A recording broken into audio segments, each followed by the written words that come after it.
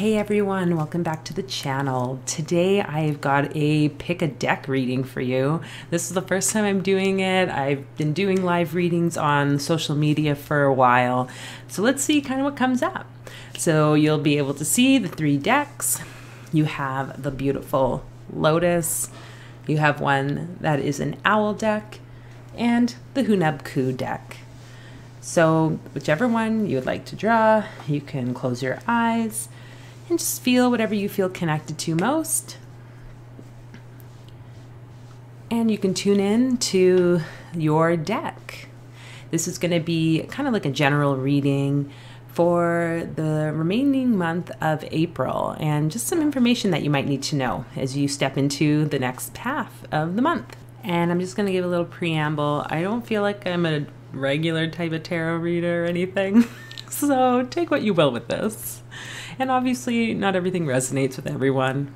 So, deck one, we've got your cards laid out. You have the Lovers card first. Those beautiful lovers, that energy of possibility with connection, not only with another person, but really within yourself, the masculine and feminine energies of creation.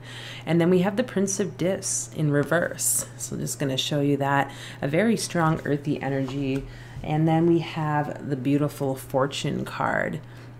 And I'm really getting the sense with this um, this pull that there's something that you're really trying to integrate for yourself right now. And you might feel really ungrounded, um, which is okay. This is kind of a reminder like that's okay to feel a sense of like, what is actually happening here. Uh, and the last two cards that have come up, one with the chakra deck, this one, Expansion, which is a blue throat chakra card, and Blame uh, from, oh, what deck is it? Soul Journey call, cards. It says, Blame, I accept responsibility for my well being.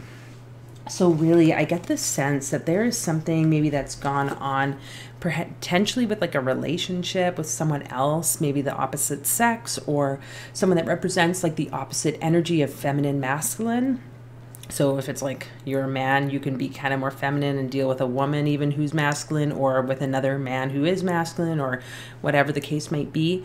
Um, and it's like kind of like trying to allow yourself to see what ended and be gentle with yourself around that energy and to see that there's a potential for you to grow within all of that. And really, it's not worth you blaming yourself, especially now if you're feeling super of that like ungrounded energy or just feeling kind of uncertain with yourself.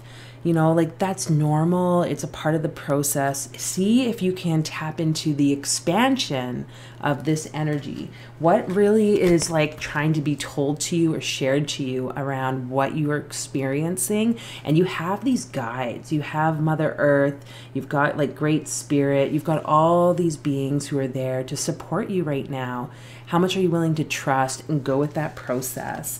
And really, I get the sense that like all of those uncertainties, all those ungrounded feelings are going to start to shift for you. You're going to start to see more of that abundance and that excitement in your life, like this wheel of fortune, the ups and downs of life. Everything is always flowing.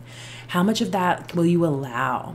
And even when we think about the blue and the throat chakra, it is very much about just constantly allowing the like flow of life to move through you. Like our words can flow our hands and our arms everything can just flow. We can be led to maybe do or create things to say things and just really trust. And this might be a time for you over the next couple weeks to really just repeat this mantra on this card. I accept responsibility for my well-being you ultimately are the one that can choose what you are responsible for. And you are ultimately the one who is responsible for your well being. All the good feelings, and maybe sometimes the not so good feelings that happen, you have more control than you might like to think. And it's about really shifting from the victim mode into that power empowered place. So, deck one, that's your reading. Uh, let us know in the comments if that's the deck you chose and if this resonates or not. And I will catch you in the next video.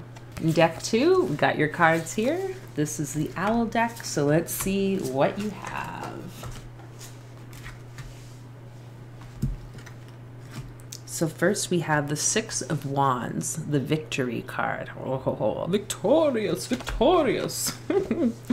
and then we have the Eight of Swords, which is interference. So that's definitely an interesting experience there. And then finally we have the Princess of Cups. So these are your tarot cards with this uh, pull, deck two. And then we have success and gratitude as our chakra and our soul journey cards. Uh, the chakra card being the gratitude, which is, I believe, a, a violet energy. And the success card, it says, I know that there is no greater goal than to love. Hmm. Yeah, like interesting. There's a lot of purple with this. There's something like opening here. I get the sense too with, you know, kind of like things maybe had been looking really like up for you over the last little bit. It's like sometimes you know like sometimes like we're like going for it we've got like everything in check. We feel like we're on top of the world. And then there was something that came through. And i really am getting the sense that it's like more your um, belief systems and thoughts like these final pieces that are trying to like come up and really be looked at really be healed right now. In the next like couple weeks it's going to even be more intense potentially for you. And this ultimately is about you like really gaining that knowing and that trust about who you be and about how powerful you are with the ability to manage your thoughts, to shift your belief systems, and begin to create that like reality that you really feel called to create. And so don't let this like interference, you know, I'm keep thinking like the like it is like football, right? American football. And they're like I don't really watch that. Like but interference, like, isn't that from there? Maybe, maybe not. But that's what I'm seeing. It's like a game. and life is kind of like a game. Let's be honest, right? It's like constantly these like ups and downs and we never really know sometimes what the fuck is going on. But don't let those interferences from yourself or from others to interfere with your potential and the things that you're hoping to achieve.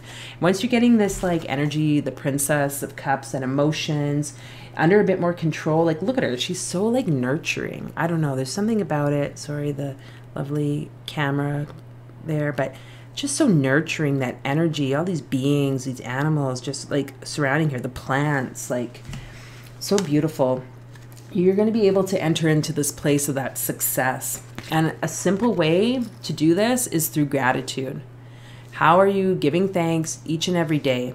Something I would suggest, and this is actually something I've been doing the last little bit, like um, I, I would write gratitudes in my journal morning or night or both depending and also when i'm driving i'll like go like okay what am i thankful for it's a good habit i like to get my daughter into it as well but another thing is like, okay, what were those like things you want to celebrate? And I got this from another YouTuber. I'll see if I can link. Oh, totally forgetting the name, um, but she has a suggestion. You can even go and like download her journal uh, template of how you can start to like celebrate certain things and then what you'd like to achieve the next day. And I've been doing that at night for the last couple weeks and it's been pretty good. Like it really does help focus the intention. So you can use that stepping into the gratitude, connecting to all that is you, and you know, you were going to be successful. You can state here, I know that there is no greater goal than to love. I know that there is no greater goal than to love. So there you have it, deck two. I hope you enjoyed that, and I will see you in the next video. Deck three, okay. We've got your cards here. You are the Hunabku rock deck. So let us get into that.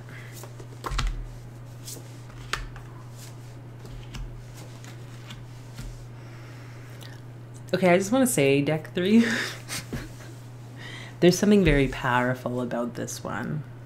Like something very like magical, powerful. We've got a lot of yellows here, oranges, First off, though, Seven of Cups, debauch. Is that how I say that? That doesn't look very nice, does it? This has probably not been the most fanciest time for you. Even I feel like it's been like a while. Okay, um, don't let that don't let that get to you. And I, I get the sense that you don't. Like for some reason, I'm really feeling these are probably people much like myself, Scorpio people who maybe like really seeing things in the potential they are, the chaos, right? And even in that and like the ugly, uh, yucky stuff of it all, there is some like potential, like major potential. You have the Magus card and you have the Hierophant. Hierophant, yes. I'm trying to make sure you can see it. And like, look at those. Like to me, these are beings who have balanced and they have achieved the like alchemy potential within themselves. And I really get the sense that this is something you've been like striving towards, but now it's even coming up more so. You are really starting to believe that, hey, this is like something that you are, and you have worked your like butt off to get through all that like debauching energy, that like not so great energy. And now you are stepping into more of that like power, the ability. And then we have these cards here um, with the Soul Journey card and the Chakra card, the Miracle, which I don't even think I've ever seen this card. That is a, oh, let me see if I can get it to show for you. That's a yellow uh, solar plexus card, so very much about the power. There are things that are changing, transforming for you, and that's just confirmed with this card of change. I understand that nothing can grow or evolve without movement. I mean, really, you know, if we think about a plant, like it's in that dark, dark place in the earth for how long? I found out today actually apple seeds it takes like one to two weeks to germinate. That's didn't that's not as long as I thought it would take. but if you think about it, like that huge tree, it probably takes a huge process anyways after that to like really grow. And so know that like there's part of you that is evolving and it has been evolving for maybe quite a while it's been maybe intimidating for you, but like in this next couple weeks, there's going to be some real shifts. Like as we're stepping into next season of like this beautiful spring, summer, and the, the like sun shining again, like lots of yellows, lots of oranges, just this bright sort of energy, like your personal power coming up, really showing up. You are going to be this being who's like, I just want to show this one. The inner child is incorporated the divine feminine, the divine masculine, these energies here, using all of like animal medicines, all these different energies together in this beautiful method that works for you and to create like whatever that might need to be for you that you're trying to achieve right now. Like, just look at that guy. He's got like the happiest face. So, there you have it. Deck three continue to believe that you are the miracle. The miracle is happening for you. You've created it. And you can repeat this mantra I understand that nothing can grow or evolve without movement. And be that movement as you go through the rest of this month of April. So, thank you all for tuning in. Make sure you remember to subscribe and feel free to share this video with anyone you think might enjoy watching it or might need a little bit of guidance. And let me know if you enjoyed this video as well, if you think I should be like doing some more of these readings, if it's something that you would enjoy. I will definitely consider it and I enjoy reading them. So, anyways, you all have a lovely, lovely day and I will talk with you soon. Bye.